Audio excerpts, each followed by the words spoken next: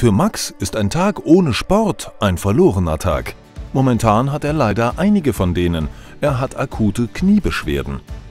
Auch Katrin leidet im Moment. Sie ist gestürzt und hat sich den Knöchel verknackst. Das Resultat? Bänderschmerzen. Und Michi hat starke Kreuzschmerzen wegen der falschen Haltung beim Heben einer schweren Kiste. Was haben nun die drei gemeinsam, außer den Schmerzen? Ihr nächstes Ziel, das Zentrum für Mobilität. Im Zentrum für Mobilität werden nach exakter Diagnose multimodulare Behandlungskonzepte erstellt, die individuell auf die Bedürfnisse der Patienten ausgerichtet sind. Dabei werden konservative Behandlungsmethoden grundsätzlich bevorzugt. Dank seiner langjährigen Erfahrung und umfangreichen Spezialausbildungen wie zum Beispiel im Bereich der manuellen Medizin, Akupunktur und modernster Therapieformen ist Dr. Gründler bei Beschwerden am Bewegungsapparat der Spezialist für Sie.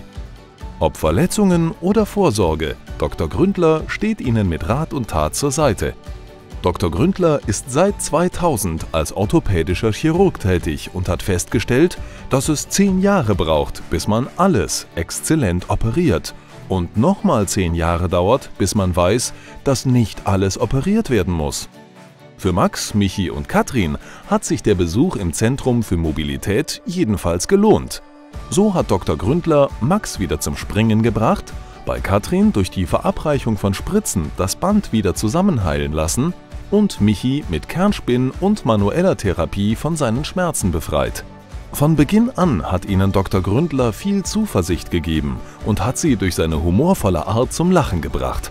Alle sind wieder fit und hatten viel Freude dabei.